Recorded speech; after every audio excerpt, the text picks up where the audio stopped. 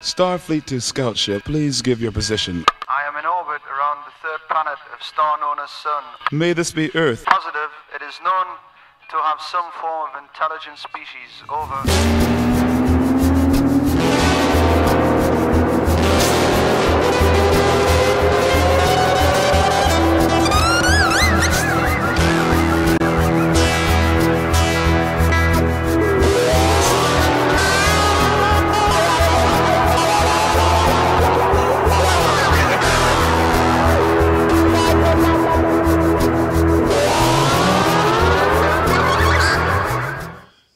Cioè, Marina, io e te abbiamo fatto una serie di collegamenti infiniti.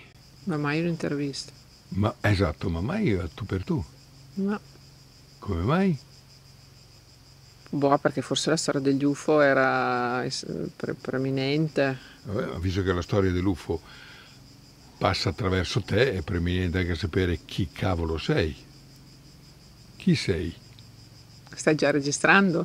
Certo. Ah, a posto. Eh, io mm, non lo so, vuoi che ti parli in chiave umana o in chiave extraterrestre? Beh, eh, allora, diciamo prima in chiave umana. Marina Tonini in chiave umana, dopodiché in chiave extraterrestre. Allora, intanto diciamo che non sono mai stata normale, nel senso che fin da piccola ero sempre estromessa perché mi sembra- sembravo strana, no, alla gente, non mi sono mai piaciute le compagnie eh, da giovane, sai come i ragazzi che si riuniscono, io non, non mi trovavo a mio agio.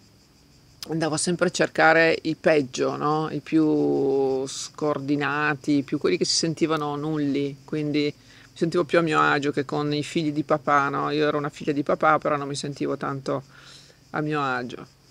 E quindi sono sempre stata un po' rivoluzionaria e controtendenza. Questo però mi ha portato a conoscere persone straordinarie, non nella norma, chiaramente. La mia vita non è stata mai una- un esempio di, di normalità e il fatto del- dell'incidente di mio figlio ha confermato questo, nel senso che quando io avevo 26 anni eh, lui ha, ha avuto questo incidente grave per cui è rimasto paralizzato su una sedia a rotelle, aveva 5 anni e per me lì si è chiusa la vita normale, se, se- se si poteva parlare di vita normale anche prima. C'è una mosca che mi sta stressando e, e questa realtà mi ha, mi ha coinvolto per 14 anni, in cui in quei 14 anni non sono mai uscita dagli ospedali, dalle sale operatorie, dai centri riabilitativi, quindi non ho vissuto in realtà, ho vissuto solo per lui. E quando poi avevano la diagnosi era stata che non avrebbe mai più camminato, lì è venuta fuori la- l'extraterrestre che è in me e lì mi sono rifiutata e sono ho preso mio figlio, sono andata in India a cercare diciamo una soluzione. E- Portandotelo in spalla? sì, l'ho sempre portato in spalle perché non volevo che si abituasse alla carrozzina, secondo me era, era piccolo, quindi bisognava proprio continuare a dirgli che sarebbe stato possibile tornare a camminare. E infatti questa cosa ha funzionato perché comunque credo che se fosse stato più grande sarebbe ancora in carrozzina. I bambini, sai, gli dici, non so, eh, non preoccuparti, vedrai che tutto andrà bene, loro ci credono, di conseguenza puli- canali puliti fanno miracoli. E infatti in India abbiamo- siamo andati a Pune e in India ho conosciuto questo agopuntore cinese che era lì, che l'ha aiutato tantissimo, l'ha rimesso in piedi, ovviamente poi è stato operato tantissime volte perché ormai le- i piedini erano storti, aveva un'andatura un po' come quei bambini che sono in carrozzina, insomma. E, e quindi insomma ci ha aiutato tantissimo. Quando siamo tornati è continuata la riabilitazione. Ma scusa, lì sei andato anche da Osho? Sì, sono andata da Osho perché era l'unico posto dove potevo andare con un bambino piccolo e siccome la sua, diciamo, la- la- eh, lo studio di questo medico era lì a Puna, ne approfittavamo per andare da Osho a fare fisioterapia nella piscina perché era l'unico che aveva una piscina in mezzo alla giungla. Tra l'altro l'unico bambino che hanno mai fatto entrare perché, E perché non l'hanno fatto entrare? perché gli ho raccontato la, la situazione, insomma, quindi loro hanno capito e mi hanno permesso di entrare tutti i giorni per fare rieducazione col bambino nell'acqua, in questa piscina in mezzo alla giungla con degli animali che camminavano sulle piante, era una cosa impensabile. Però questa cosa è servita perché Mattia eh, si è sentito meglio, ha cominciato a camminare col bastone, da lì poi eh, sono passata alle stampelle, poi insomma adesso chiaramente mh, è autonomo, ha la sua macchina, la sua fidanzata, insomma abbiamo vinto la battaglia. Però quando il suo medico l'ha visto ha detto questo è stato un miracolo, non, è, non era possibile che tornasse a camminare. E io so che invece il miracolo l'abbiamo creato perché quando uno vuole qualche cosa e lo vuole con tutto se stesso, le cose accadono, no? Quindi se, se Maometto non va alla montagna, la montagna andrà da Maometto. E quindi per me è stata una grande lezione di vita perché non solo ho capito questo, ma ho imparato a dedicarmi agli altri perché come tutti, sai, a 26 anni sei molto concentrato su te stesso, cioè non, le responsabilità insomma le devi ancora imparare.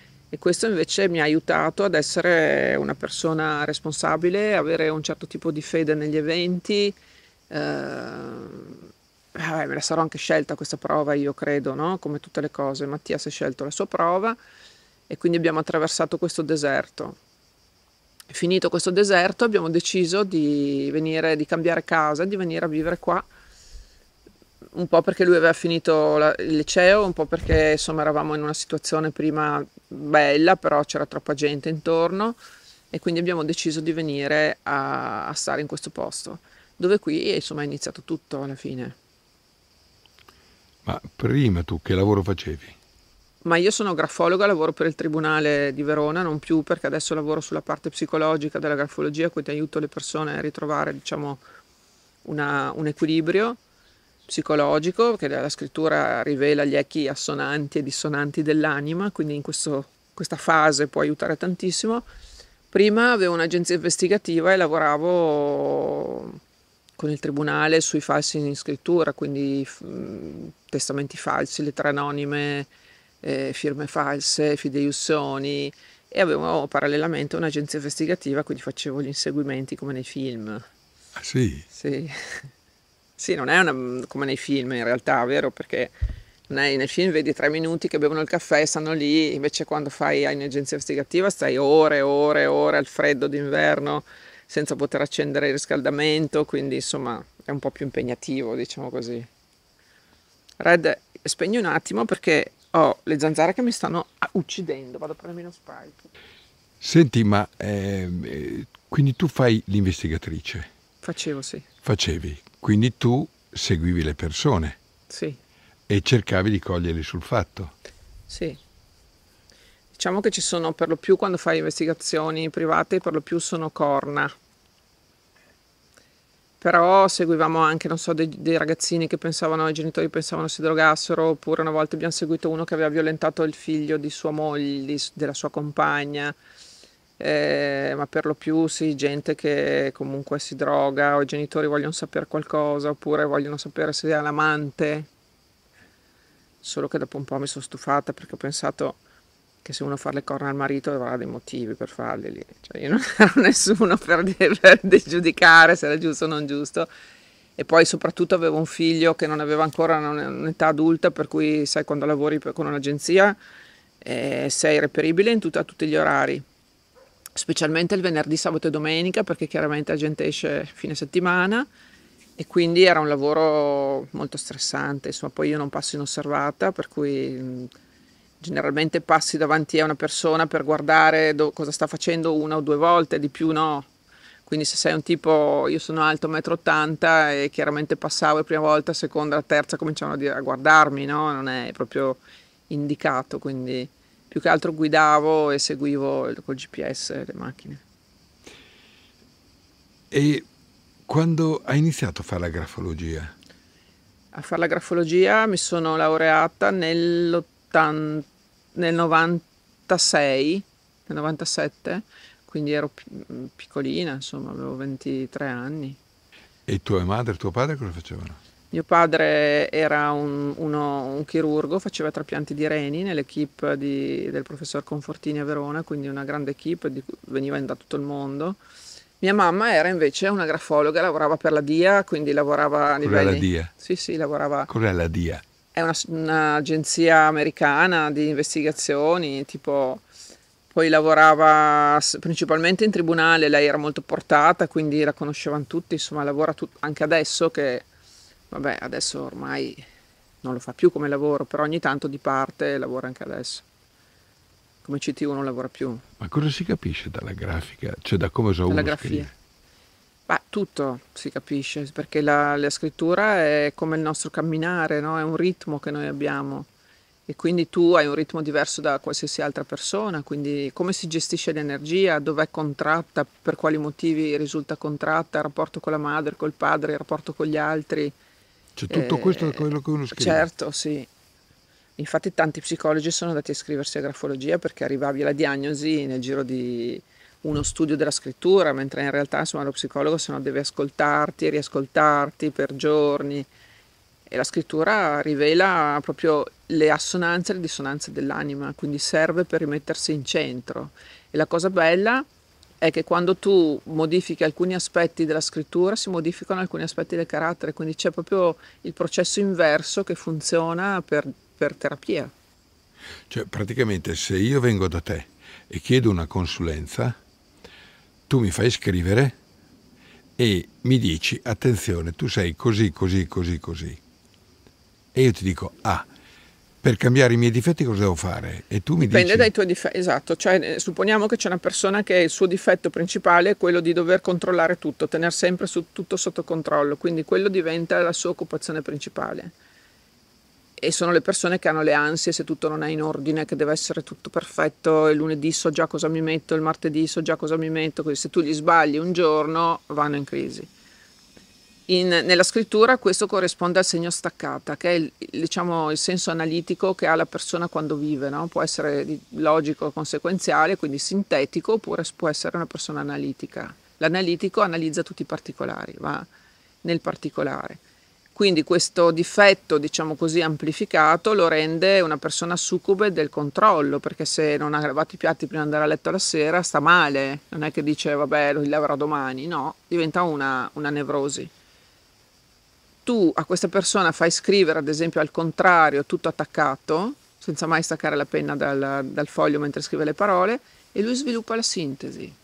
E quindi comincia a far fluire il- il- l'energia che ha, non è più una- un'energia spezzettata, ma comincia a farla fluire, comincia a muoversi in maniera più spontanea, più fluida e il suo cervello comincia ad acquisire questo ritmo diverso e a capire che ci sono altri modi per procedere. Quindi comincerà a non controllare più, comincerà a lasciare andare, comincerà e modifica proprio la sua persona.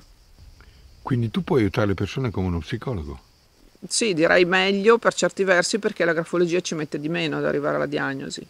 E poi è un fatto solamente di rieducazione motoria del gesto grafico.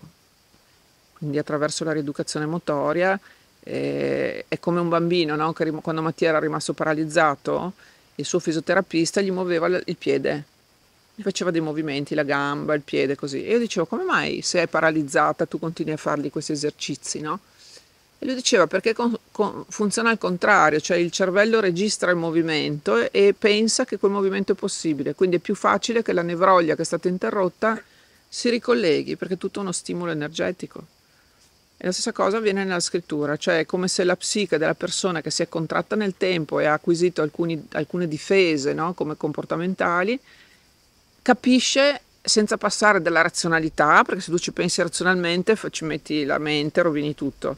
Se però tu cominci a muoverti in maniera diversa, la psiche in automatico dice: Ah, guarda che c'è un nuovo modo per proseguire. In effetti l'avevo dimenticato.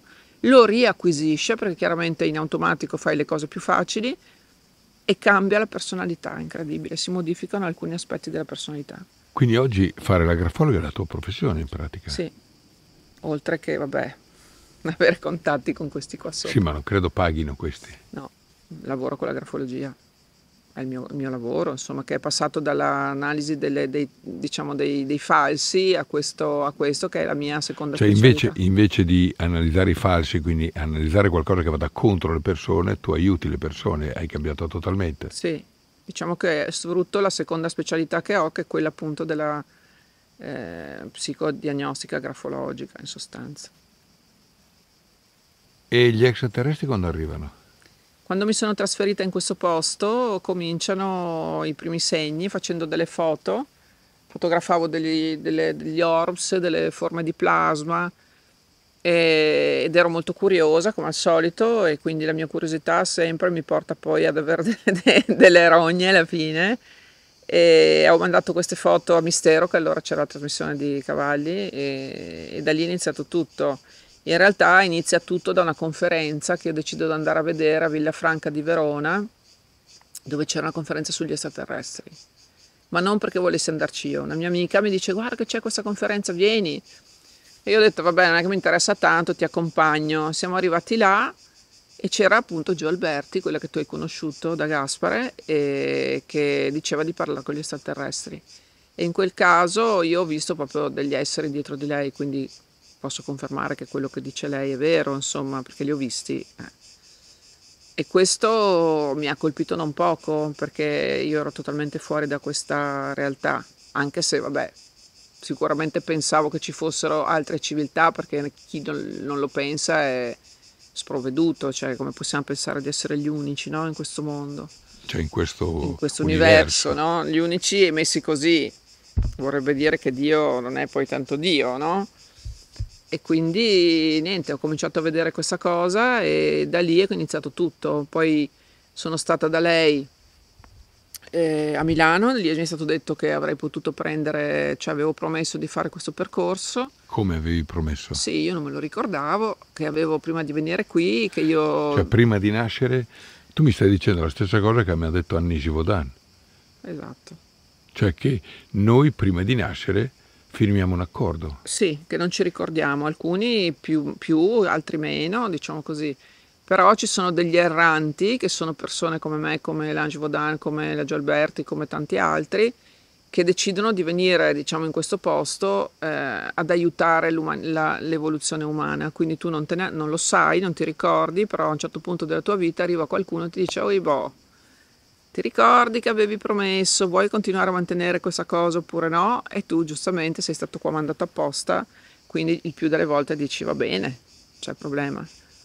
E così è. Così Quindi poi. tu sei un extraterrestre o siamo tutti extraterrestri? Allora, diciamo che potenzialmente siamo tutti extraterrestri, però ci sono delle energie, delle persone che vengono inviate come, sono, come Gesù, come tanti profeti, ovviamente ognuno col suo carico, vero? Non è che c'è nessuno si paragona a Gesù, eh, anche se lui ha detto farete cose più grandi di me, no? Su questo ho dei seri dubbi per adesso.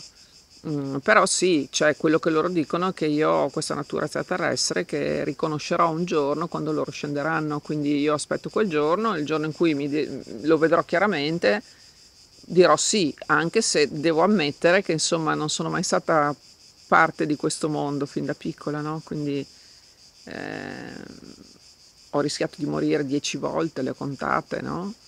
e, e mai è successo, sono sempre tornata alla fine, quindi qualcosa c'era.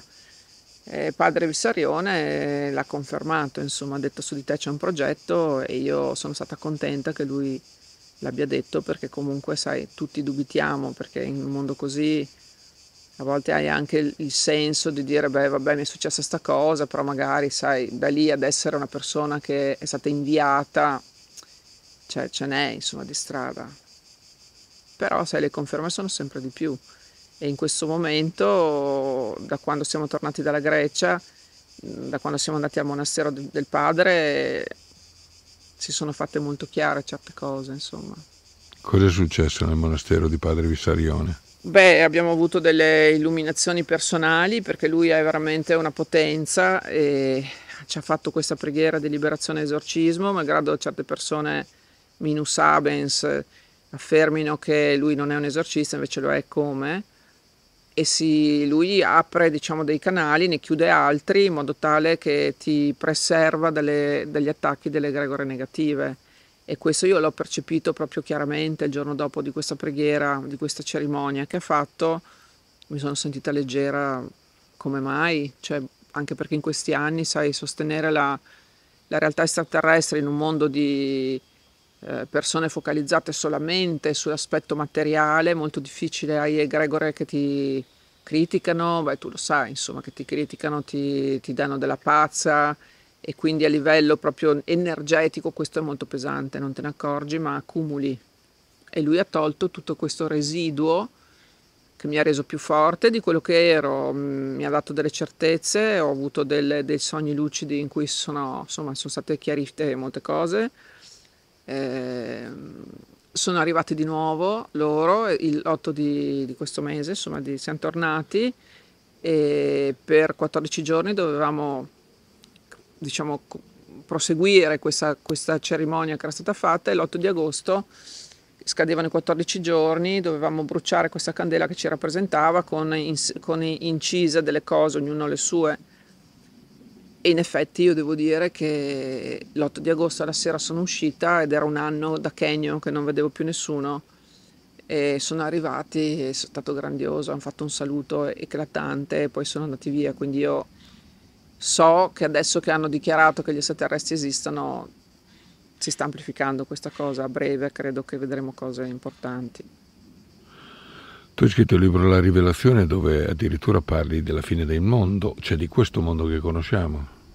Sì, tu sai che quando io leggo quel libro cioè, mi chiedo chi l'ha scritto, perché poi quando comincio a scrivere intervengono loro come con Dio bipolare e io scrivo ma non, non sono effettivamente cosciente di quello che esce, no? quando leggo poi quello che è scritto non riconosco quasi il linguaggio.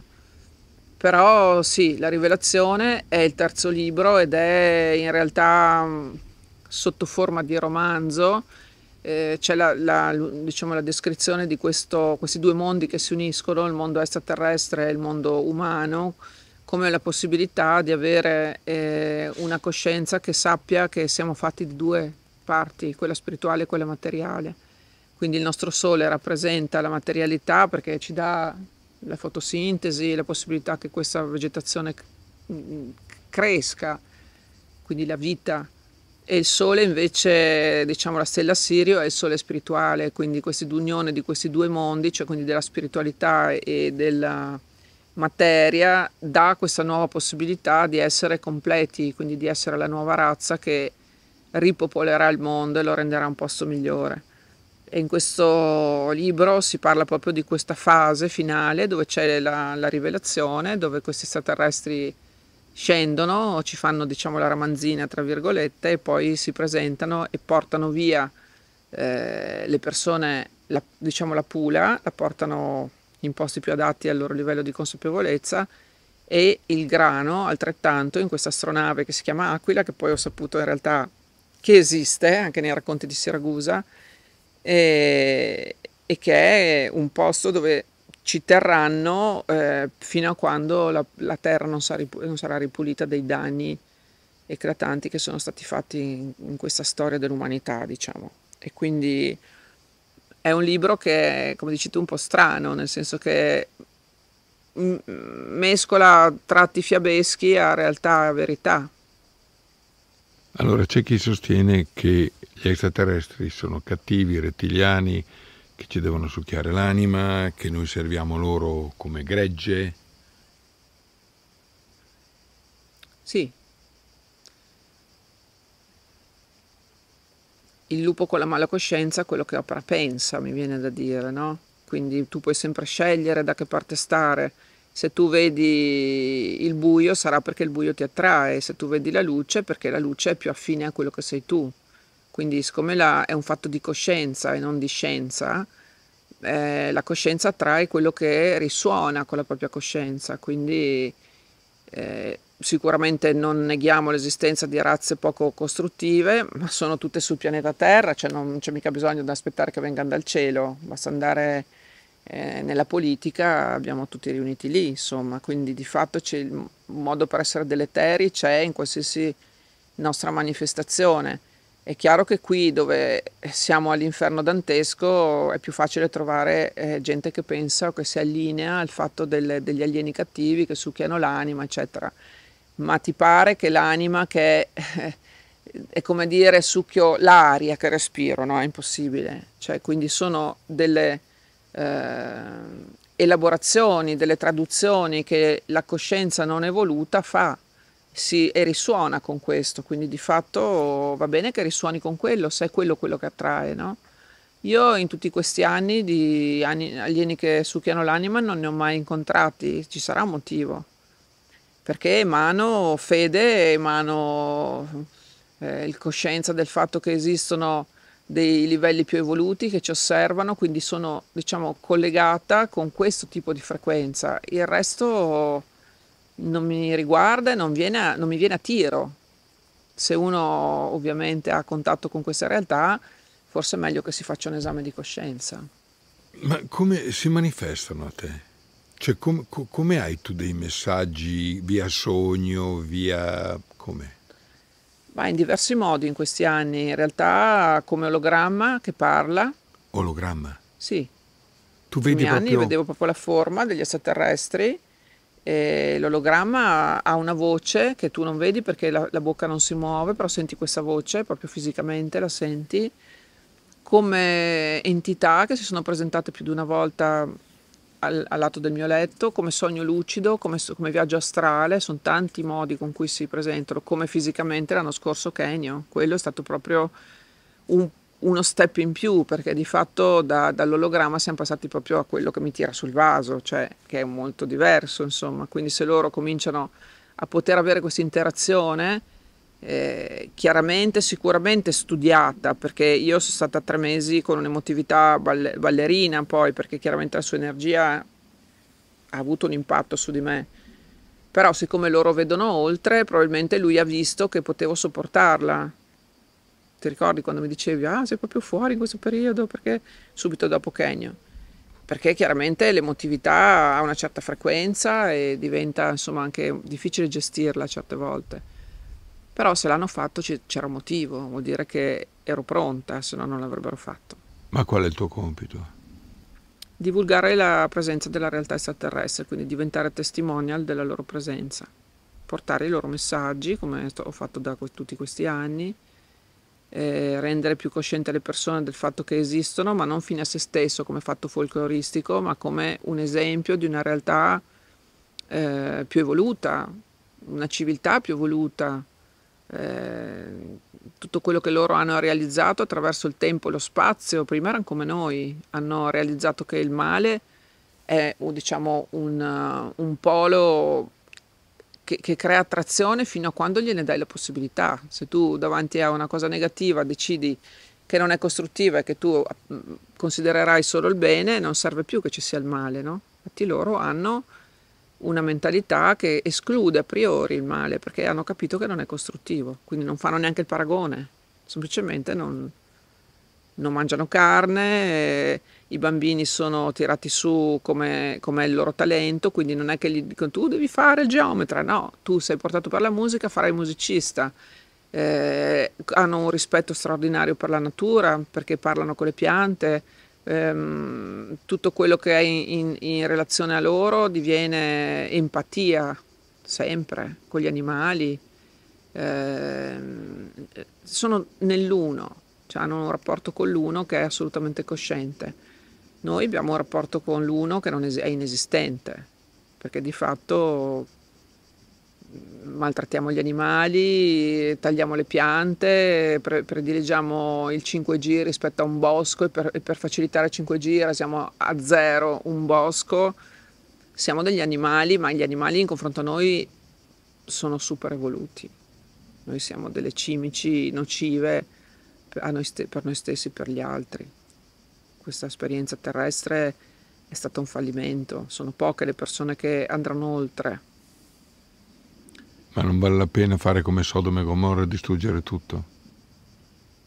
Ci proveranno perché visto che non possono avere quello che vogliono, ci proveranno, però non glielo permetteranno perché al di là di tutto questo, la nostra Terra è un, mm, un pianeta meraviglioso, ha un ecosistema che non, non, non c'è da nessun'altra parte nell'universo. Eh, tutta la rappresentanza dei nostri animali che ci sono qua sono, è la rappresentanza di tutte le creature che ci sono nell'universo eh, flora, fauna, delle cose meravigliose che noi non, non, non, ci rendiamo neanche conto della ricchezza che abbiamo, semplicemente la devastiamo per, per sempre per un tornaconto di, di soldi, no? di, abbiamo distrutto tutto, stiamo distruggendo i bambini. Quando i bambini, con Gesù l'ha detto, non toccate i bambini, nel momento in cui cominci a toccare i bambini, basta, la società è finita, è destinata a essere autodistruggersi ed è quello che sta succedendo. Ma ben venga, perché comunque è ora di cambiare scenario, no? Alla fine questo non, non può più essere, non...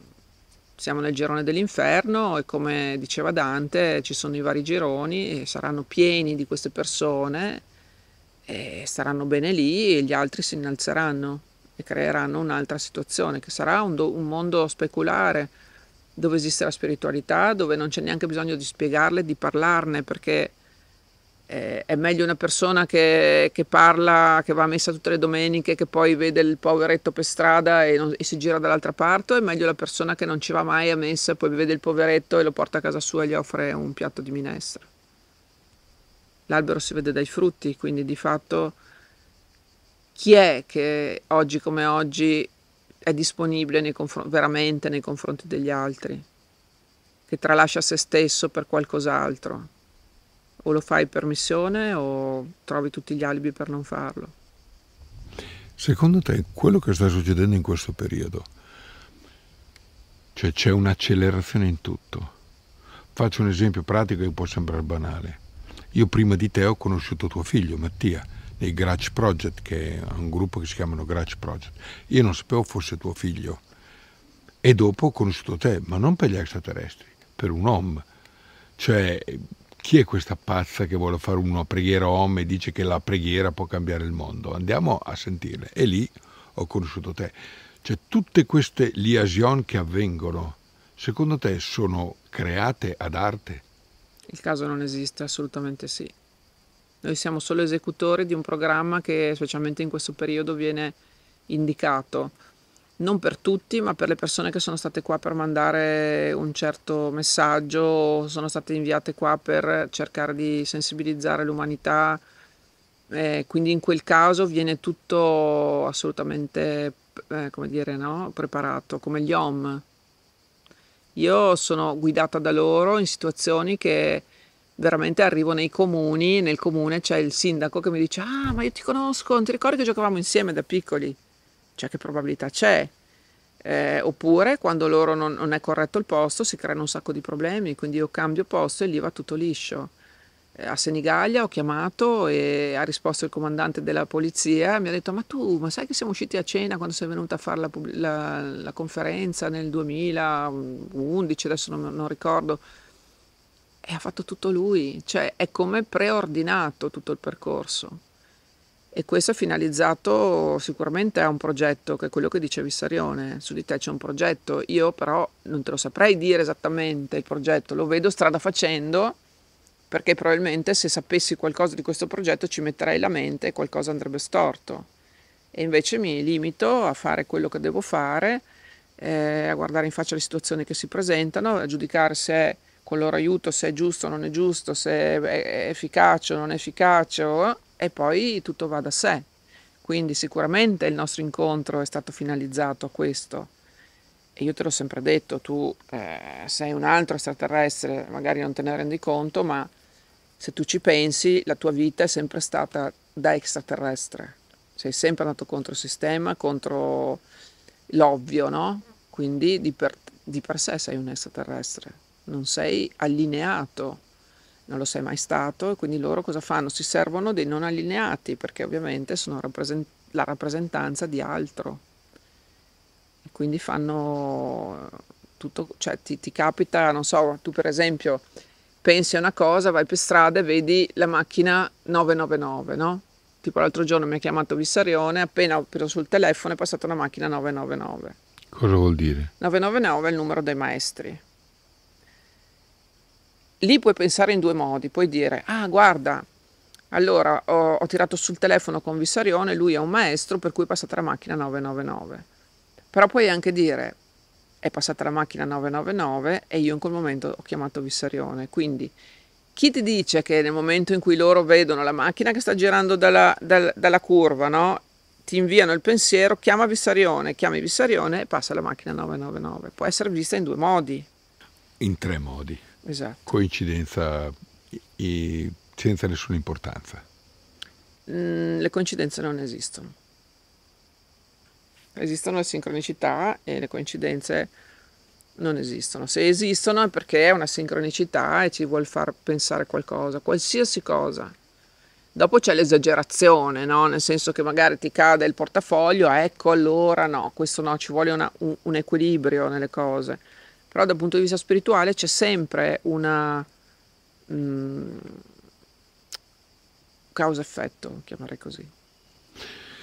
Scusa Marina, ma se tu sei stata prescelta, cioè nel senso che, ah, no, cambio la domanda allora, eh? Ma se tu hai accettato di fare una missione per loro qui sulla Terra, che poi ti hanno ricordato in seguito, ok? Perché ti hanno fatto patire tutte quelle sofferenze da giovane con tuo figlio, eccetera? Perché è una scuola di addestramento. Io credo, ci ho pensato molte volte, è una scuola di addestramento che ti aiuta ad essere quello che sei venuto ad essere. Se io non avessi avuto l'esperienza con mio figlio non sarei forse così determinata come ho imparato ad essere con Mattia prima della storia con Mattia io non ero così determinata, ero un po' incostante, diciamo. Mi ha insegnato la costanza questa cosa, quindi è una scuola, un addestramento finalizzato a quello che serve come eh, qualità per riuscire a reggere un discorso come quello di un contatto ravvicinato, perché sono tante le persone che hanno avuto contatti ravvicinati che sono andate fuori di testa. Se io non sono andata fuori di testa è perché non ci sono andata con, quando mio figlio è rimasto in carrozzina e fidati che se non ci sono rimasta allora non ci andrò più. Qualsiasi cosa è niente in confronto, perfino gli extraterrestri, perché una madre che vede un bambino che rimane paralizzato, senza speranza, vuole uccidersi, quindi lì non esiste più niente. E quindi è come un metro di misura che mi è servito per capire che, che, mai ci sarà un dolore così forte, mai ci sarà un disequilibrio così forte come è stato e quindi qualsiasi cosa arrivi è una paglia in confronto e questo mi permette di stare in equilibrio ed è fondamentale perché non è facile, vero? Soprattutto non è facile avere a che fare con la gente, perché ti dico è più facile avere a che fare con gli extraterrestri che con gli umani. Perché? Perché gli umani sono cattivi, sono involuti, la maggior parte eh, pensa sempre appunto il lupo con la mala coscienza, no? quello che opera pensa pensa sempre che se tu fai una cosa del genere e dici che hai incontrato gli extraterrestri ci deve essere sicuramente un motivo, no? qualche tornaconto. Tornaconti non ce ne sono perché sei famoso tra i matti, diciamo così, no? Quindi quale tornaconto puoi avere? E soprattutto se continui in questa direzione o sei pazzo oppure la realtà è quella che è.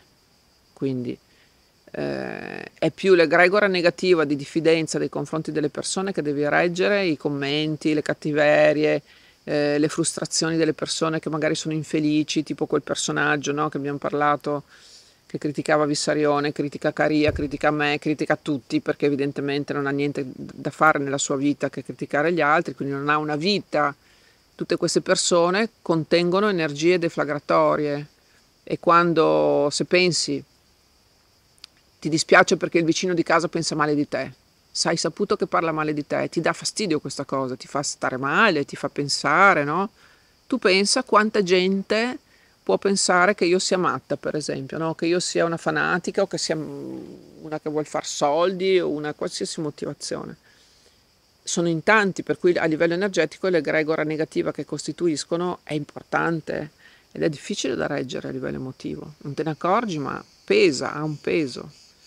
Quindi se non sei abbastanza equilibrato non ce la puoi fare. Giorgio Caria mi diceva, io ho conosciuto tanti contattisti, tu sei l'unica che per adesso sei ancora in te, no? Perché vanno giù di testa? Sì, alla fine vanno giù di testa. Cioè, ma perché vanno giù di testa? Perché quando tu contatti un extraterrestre ti distacchi da, da, dal mondo, cioè ti senti superiore, che cosa succede? No, non è che ti senti superiore, però capisci che esistono dei mondi che sono il non plus ultra rispetto a questo e quindi diventi un disadattato. Già magari lo eri prima e quindi tutto è inutile, tutto bah, giornate stupide, cosa c'è di meglio? Di un... Solo che non puoi neanche dare sfogo a questo perché di fatto è saltuario il rapporto, non è continuativo. Quindi vivi nell'attesa che questi arrivino, che eh, ti, tra... ti, dire, ti eh, trasponi su un'altra realtà e quindi diventa difficile vivere la realtà di adesso, cioè diventa eh, mm, sì, una cosa banale, ecco, capito? Quindi vivi male poi alla fine, perché già ti isolano, perché sei un matto che parla degli extraterrestri. eh, ti senti comunque criticato, messo in discussione sempre, eccetera. Eh, ti chiedi come mai se sia capitato a te, c'è tanta una serie di cose che ti fa pensare ma perché mai no, questa cosa? E ti senti perso in certi momenti. E quindi è difficile a livello emotivo reggere queste cose. Io sono stata fortunata perché comunque ho una natura che se ne strafrega di quello che dice la gente, ma fin da piccola, quindi quando io mi chiudo qua a casa mia so che è vero, arrivederci grazie, prima o poi arriverà la, la, la realtà, no? quindi prima o poi vi renderete conto. Loro dicevano quando io dicevo non ce la faccio, non ce la faccio all'inizio, loro mi dicevano vai avanti perché un giorno quando scenderemo la gente che ti critica sarà in prima fila e ti vorrà stringere la mano. Quindi io ho ascoltato loro, ho ascoltato persone come Gaspare De Lama che hanno affrontato questa cosa e che sono delle grandi anime, persone che mi sono state vicine, mio figlio che ha assistito anche lui a delle cose, quindi io ho un supporto, persone come te, persone che sono curiose, che non mettono tutto in dubbio, no? e questo mi ha dato la forza di proseguire e sono felice perché una settimana fa hanno detto che gli extraterrestri esistono, quindi già questo sai, un peso notevole che si è tolto dalle spalle. Ecco, la cosa strana è che quando hanno detto che gli extraterrestri esistono, Gaspar l'ha predetto addirittura il 30 o il 31 luglio diranno, sì, quindi il congresso americano sta dicendo no, ci sono, abbiamo, siamo in possesso di, eccetera, eh. eccetera. No? A parte che hanno detto che avevano occupato una base nucleare, volevano mandare le bombe sull'America, tanto per però poi dopo ci hanno ripensato che è una roba ridicola. Ma sì. quando hanno detto questo, la cosa strana è che uno mi ha scritto un messaggio, te l'ho anche già detto, no? che ha detto, beh, prima occupati, ti occupavi sempre di extraterrestri, adesso come per dire hai vinto, perché non ne parli più? E io un attimo ho detto, ma perché non me ne frega niente? Cioè, sono già da un'altra parte, sono già qual è il prossimo passo? Mi capisci? Cioè, il prossimo passo qual è? Il prossimo passo è difendere quello che sta succedendo i bambini, ad esempio, quello che sta succedendo in questo, in questo mondo che sta crollando, perché tutto sta crollando. È tutto perfetto comunque, nel senso che mm, loro adesso è una grande liberazione questa di questa affermazione perché loro finalmente possono sentirsi liberi di scendere e quindi di intervenire. Quando mi dicono, eh ma loro non, non verranno a salvarci, sbagliato, ci hanno già salvati infinite volte perché sennò saremmo già morti tutti. Quindi eh, si parla ma non si conosce questa realtà. E adesso possono scendere e, e, questo è fondamentale perché adesso si attiva proprio il programma che è questo protocollo di contatto che aspettava dal 2016 che questo potesse avvenire. Adesso è avvenuto, la gente peraltro non sembra neanche tanto stupita se noti, perché dice, sembra che lo sapessero tutti, non è che dico, oh, ma come gli alieni esistono? No, no, lo sanno tutti, lo sentono probabilmente e quindi questo ci porta alla certezza che i passi si stanno facendo e che loro, in base ai passi che noi facciamo, hanno una reazione. E questo sarà proprio riuscire a finalmente a scendere, a fermare questa guerra su questo pianeta perché se non ce n'è una ce n'è un'altra, quindi è proprio la nostra mentalità di terricoli poco evoluti e la, la separazione del grano dalla gramigna che adesso inizia proprio la battaglia, adesso inizia. È quello che, che diceva quando io ho chiesto a padre Vissarione ma perché sei venuto a cercarmi a Rimini e lui ha detto perché adesso è ora di prepararsi e di unirsi perché inizia la battaglia. Tu hai anche detto che qualcuno di loro ti ha detto il giorno dopo l'OM che cambiava tutto. Sì, mi hanno detto quest'OM sarà decisivo e quindi in effetti sta cambiando tutto. È arrivata questa cosa degli extraterrestri e le cose stanno andando velocissime e quindi questa, questa, frequenza che noi non vediamo sta creando miracoli perché a livello di griglie elettro, di, cioè ci sono delle griglie luminose intorno alla Terra che subiscono eh, il, l'influenza di tutte queste eh, come si può dire, di questi invii energetici, perché si può dire che ah, l'OM non fa niente, in realtà se noi ragioniamo in termini energetici, come è giusto fare, perché l'universo è energia, abbiamo una potenza infinita in questo intento che lanciamo E quindi la forza di terra, come la chiamano loro, è questo, cioè sono tutti quelli che prendono e vengono in un posto dove si fa una preghiera collettiva perché con degli intenti eh, finalizzati al cambio di questo paradigma infernale dove stiamo vivendo, no? quindi basta un intento, cioè, lo diceva Gesù, no? quando vi riunite nel mio nome io sono in mezzo a, lui, a voi voi potete fare miracoli, noi non abbiamo mai creduto a questo aspetto, abbiamo sempre prediletto gli aspetti materiali, utilitaristici, senza mai, cioè ci siamo dimenticati la nostra parte spirituale, quella ha un potere infinito L'unione tra i mondi decreta il, il potere di questa forza e quindi adesso noi utilizziamo questa forza e se ne siamo coscienti diventiamo dei nel, nel riuscire a creare eh, opportunità. Quindi questa è la nostra forza straordinaria per chi lo capisce. Chi non lo capisce continuerà a vivere nel suo mondo convinto di essere nel posto giusto, rinnegando altri valori, ma vuol dire che tra qualche eone forse arriverà il momento. Cosa sono gli eoni? Un tempo molto molto amplificato. Eh, arriverà il momento anche per lui di capire qualcosa, insomma non è una colpa, eh, perché non c'è colpa nell'universo, ci sono dei livelli e quindi queste sono le premesse perché finalmente possa finalmente possa svilupparsi questo, questa selezione. Il grano adesso viene raccolto. Tu mi hai detto, non so poi se lo vuoi raccontare o no, che hai fatto un sogno dove hai incontrato già padre Vissarione. Sì.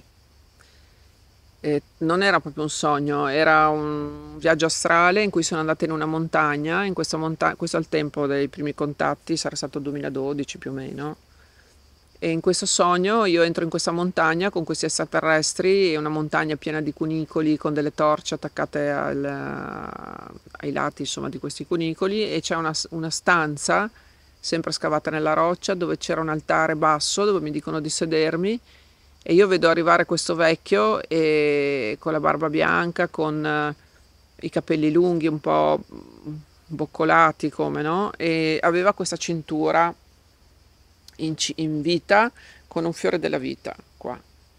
E a me è rimasto molto impresso e questo signore mi ha detto sei venuta per incontrare Gesù. E io ho detto non lo so per cosa sono qui. E lui ha detto dagli un nome. E io ho detto Sananda, senza sapere che fosse il nome di Gesù. Manco sapevo cos'era. E quando ho visto Vissarione io ho detto ma io ti assomiglia molto a questa cosa e in Grecia ho detto senti ho fatto questo sogno, questo viaggio astrale e c'era questo, questa persona. Ti ho riconosciuto dalla cintura, eri tu? E lui ha fatto così. Quindi è tutto scritto e sono degli step che sono tutti controllati minima, nei minimi dettagli per riuscire a portare a termine un progetto che è questo. Tu sei già venuto altre volte su questa terra? Sì. Sì. Ci fermiamo qui? sì, io so anche della mia ultima incarnazione, insomma conosco delle cose, però non mi servono per riuscire a vivere bene questa vita, semplicemente ho dei dati, ma non trovo che ci sia un filo conduttore, almeno da quello che so. Avrei bisogno d'altro per capire. Però sì, sono già venuta. Loro mi hanno detto tu sei un errante e gli erranti vengono mandati, sono quelli che hanno i caratteri peggiori, no? che non vogliono rotture di scatole, quindi dico dai vai sulla terra che così fai qualcosa là, metti a posto il tuo caratterino, fai qualcosa per questo... Quindi sei una rompiscatole? Oh, sì, sempre stata. Ah. Però sono anche cocciuta, testarda e determinata, per cui loro serve questo e soprattutto non mi interessa il giudizio degli altri finalizzato alla critica. E quindi questa è una forza per loro, no? Perché sennò uno si preoccupa e dice no, ma io non posso dire questo, perché sa cosa pensano. Pensate, cioè fate quello che volete. Poi quando una cosa è vera a te non ti interessa se ti capiscono o non ti capiscono, cioè come dire gigante Golia contro una formica, la formica dice no, non è vero, e lui dice guarda, cioè, il tuo parere non mi interessa, capito? Cioè, ho altro a cui pensare per cui non, non è un merito, è semplicemente così. Il tuo rapporto con gli, i terricoli. Cioè, ti sarai innamorata di qualche terrestre? Hai avuto rapporti con i terrestri? Come sono? Come sono i tuoi rapporti? Ah, ci sono stati dei rapporti interessanti, io ho sempre cercato delle persone creative comunque perché sono sempre stata una creativa, facevo, sono nata come artista prima della grafologia e tutto il resto, quindi giravo un po' il mondo, facevo mostre eccetera. Mostre di cosa? Di, lamp- di sculture luminose, Eh, eh, se ce n'è qualcuna in giro forse qua. Ehm, per cui mi piacevano le persone creative. Diciamo che ho avuto dei, dei bei rapporti che poi sono finiti perché chiaramente forse non eravamo compatibili, forse poi ci si annoia. Io, sai, ho sempre pensato all'amore, quello là, no? delle favole. E tutte le volte dicevo, ah, questo, questo, questo qua è l'amore delle favole, questo è proprio l'amore. Poi alla fine mi rendo conto che era un calesse anche quello, no? E tutte le volte è sempre così. E quindi per un fatto di statistica ho detto, ma forse l'amore infinito non esiste, esistono dei momenti in cui ci si accompagna più o meno, e però ho sempre avuto un fidanzato fino a quando è iniziata la storia degli extraterrestri. Poi loro giustamente mi hanno detto guarda che devi imparare a stare da sola perché il tuo punto di eh, contatto è sempre fuori da te, perché effettivamente sei sempre legata a qualcuno, no? Quando hai un compagno, una compagna, la tua energia è dimezzata, c'è niente da fare, sei sempre in rapporto con l'altro costantemente. E serviva che io imparassi a stare da sola. E poi ho imparato così bene che faccio fatica a pensare di stare con qualcuno perché sono libera, non devo giustificarmi su niente, ho un- tanti amici, eh, quel, quel tipo di rapporto lì non mi manca molto, diciamo. A volte quando sei da solo d'inverno sul divano dici ah, mi piacerebbe magari avere un compagno, sai così. E poi dopo pensi sì, però poi comincerebbe a dirti cosa fai, perché esci, dove vai, cosa, cosa- perché non hai mangiato, a che ora ti sei alzata. E allora lì dici vabbè preferisco la libertà e essere insomma un po'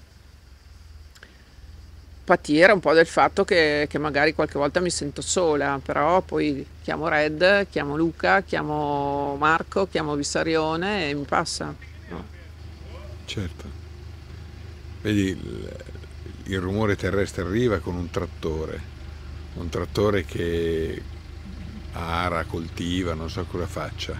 Comunque una cosa legata alla Terra, una macchina legata alla Terra, questo pianeta. Ma adesso cosa succederà e in quali tempi succederà? Allora, diciamo che io i tempi li, diciamo, li posso intuire perché loro mi hanno abituato a non chiedere mai eh, date perché dicono eh, ci sono sempre tante variabili in gioco, quindi mi hanno fatto l'esempio se tutte le persone della Terra domani mattina invece di andare a lavorare andassero ad aiutare chi ha bisogno, cambierebbe radicalmente tutto in un pomeriggio. Quindi ci sono troppe variabili per dare una data, però indicativamente sul libro la data che loro hanno ipoteticamente dato, diciamo che è una data inesistente, messa apposta perché la gente non dica, eh no, ma allora avevi detto no. In realtà le elezioni di- del prossimo presidente degli Stati Uniti, che sarebbero nel 2025, cioè la data di insediamento è, è gennaio 2025. Nel libro c'è scritto 2024 in realtà, eh, è inesistente questa data, però eh, secondo me per vedere qualcosa di eclatante, secondo me sì. Fine 2024, inizio 2025. L'avevano detto, eh, 40 mesi nel 2021. Sono tre anni e qualche mese, quindi coinciderebbe con quella data lì. Quindi secondo me se andiamo di questo passo entro il 2025 dovremo vedere delle cose belle toste. Sì, anche perché nel frattempo stanno, diciamo, le forze di potere, chiamiamolo così, stanno facendo di tutto. Eh. È come la bestia che è ferita a morte, che dà gli ultimi... Non ce la faranno loro della loro agenda, prevedeva cose che secondo me non riusciranno a fare perché eh, loro dicono hanno tirato troppo la corda, la, la corda ha finito per spezzarsi alla fine, chi troppo vuole nulla stringe, quindi hanno fatto dei conti secondo me in maniera troppo convinta di avere tutto quello che loro avrebbero voluto avere. In realtà anche la pandemia è stata spinta all'ennesima potenza, quindi sono rimasti a piedi perché hanno non so quanti vaccini eh, nei frighi ancora, quindi pensavano di poterlo fare. Certamente la bestia continua a trovare motivazioni per portare alla, a, a, compimento i suoi diabolici piani, no? Però non ha fatto i conti, secondo me, con uh, il risveglio, perché comunque c'è stato un risveglio inaspettato delle persone, o per un motivo o per l'altro, o perché in una famiglia sono morte quattro persone, o perché eh, le persone st- sono stanche di questo eh, trend così di sfruttamento, o perché non hanno il lavoro, perché adesso stanno cercando loro di mettere eh, le mani avanti, ma non ce la faranno, verranno fermati, perché ormai siamo a livelli, eh, a livelli di, di, di, di scellerataggine, veramente scelleratezza, come si dice, terribili. Quindi l'essere umano deve poter continuare a evolvere, è una legge universale cioè noi siamo, veniamo qui per fare un'esperienza, ma nostra, il nostro spirito si collega all'anima e cerca di evolvere. Nel momento in cui ti schiacciano e non permettono questo, può essere per un po', poi tutto scorre. Pantarei, diceva Eraclito, no? Quindi non c'è niente che può essere fermato a oltranza. Può essere fermato per un po', poi ricomincia a scorrere.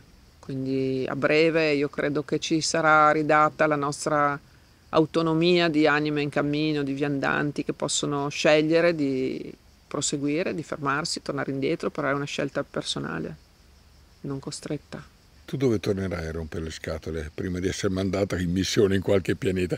Mi ricordo un po', sai come nei film dove c'è l'agente speciale che rompe il cavolo e rompe le, le palle? Allora dico, senti, vai a fare quella missione là in, in Iran. esatto, così stai fuori dalle scatole. Stai fuori dalle palle.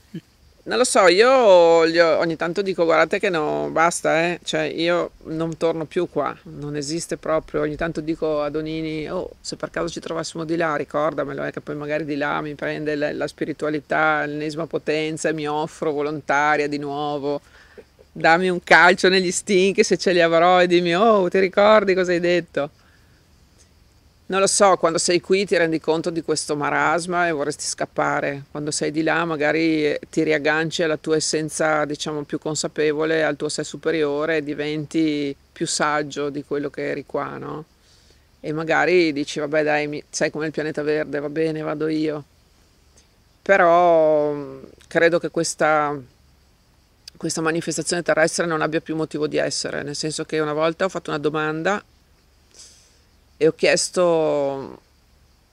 o più che altro ho detto, secondo me eh, le varie razze terrestri si sono estinte, no? quindi le muri, Atlantide, gli antichi egiziani, alla fine sono, si sono autodistrutte. Quindi potrebbe essere così anche adesso, no? Noi arriviamo a un punto di involuzione tale che ci autodistruggiamo, supponiamo col nucleare, e arrivederci grazie, chi sopravvive sopravvive e loro hanno risposto questa volta no, questa volta è diverso perché è finito il gioco. E quindi ho chiesto cosa significa essere finito il gioco, che non ci sono più le premesse perché questa realtà possa essere quella che è stata fino ad oggi, cioè la realtà materiale ha un aggregarsi della materia che de- dipende da una frequenza bassa, quindi la materia può aggregarsi perché è una frequenza che permette l'aggregazione dell'atomo. Più sali in frequenza, più la frequenza è veloce e più diventa fatua questa aggregazione. Infatti se tu vedi loro hanno un corpo fisico meno denso apparentemente. Quelli che sono nell'aldilà, dal nostro punto di vista, hanno un corpo fisico che, no, che è luce. In realtà non è vero, quando sei di là ti, ti puoi abbracciare. È tutta una questione di punti di vista, sono molto relativi.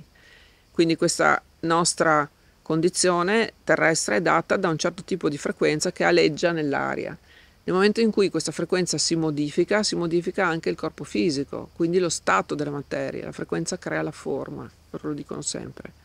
Quindi non sussistono più le condizioni perché possa essere continuati, questa, questa forma possa continuare ad essere quello che è stato. Sarà qualcos'altro.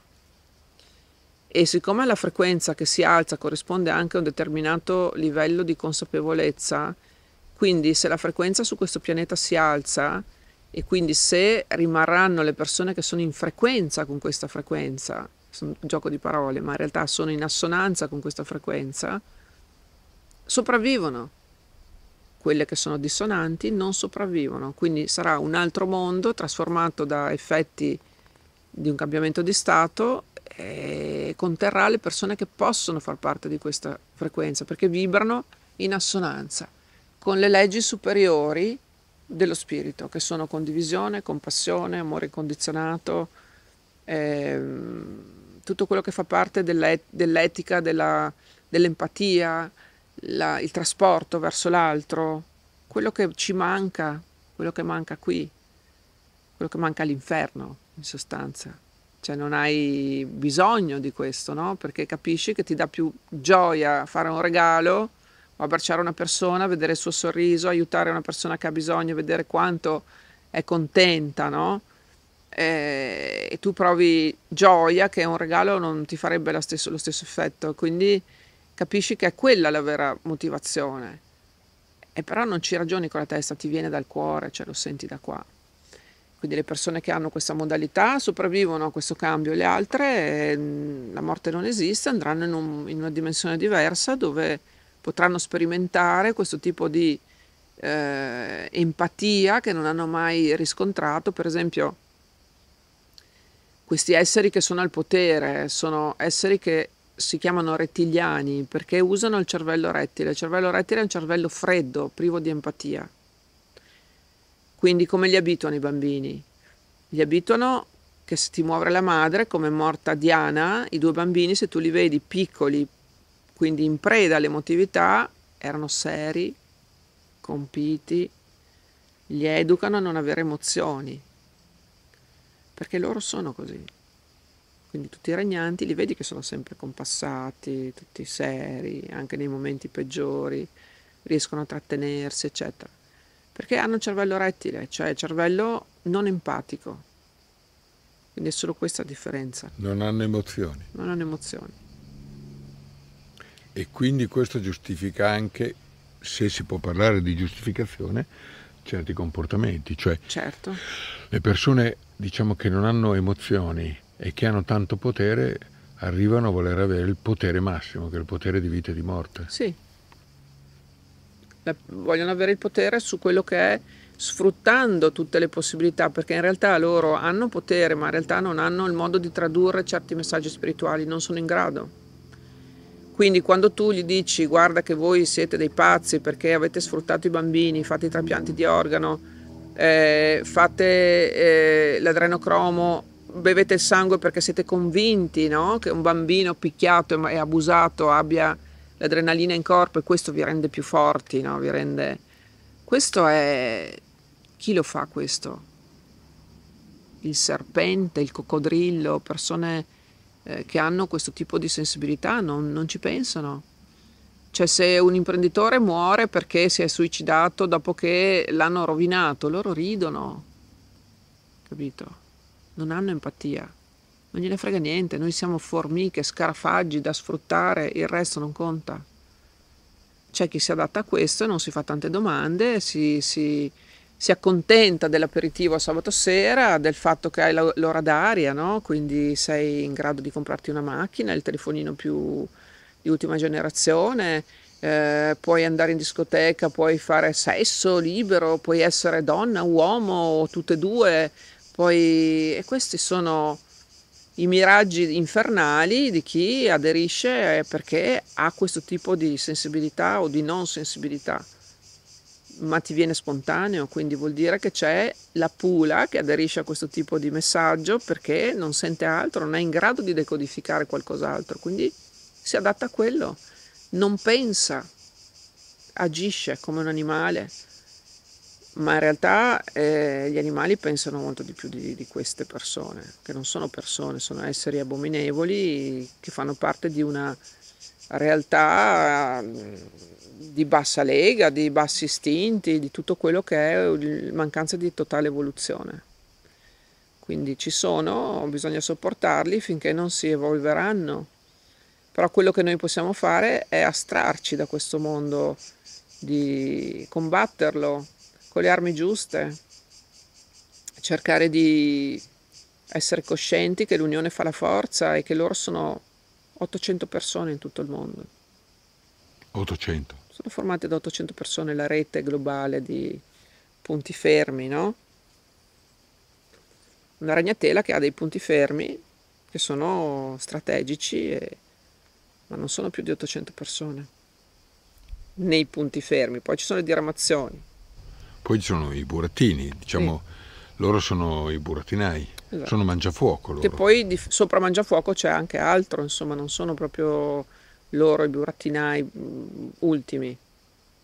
Sopra Mangiafuoco ci sono razze extraterrestri non costruttive che hanno sfruttato il pianeta dall'origine di questo pianeta, da quando Caino ha ucciso Abele, cioè da quando sono scesi per, per sfruttare la scimmia che doveva andare a lavorare nelle miniere in Africa, cioè non- questo, questo pianeta è sempre stato soggiogato da forze, no? Poi eh, ha scelto questa strada in realtà, ma è un pianeta prigione, quindi comandano i carcerieri, e tu ti, o ti adegui oppure vieni fatto fuori. Adesso siamo arrivati al punto in cui le strade si dividono, carcerieri da una parte con chi aderisce a questo tipo di cosa e quelli che in realtà vogliono proseguire nel cammino evolutivo e che vengono premiati, quindi viene creato una dimensione a sé stante. Diciamo che la creano. La nostra forza è inimmaginabile. Grazie. Prego. Così. Senti, vuoi raccontare, senza mandarlo in onda, chi eri? Perché senza mandarlo in onda? Senza mandarlo in onda perché, perché non ci tieni a dire chi eri nelle vite precedenti. Però documentarlo secondo me è importante.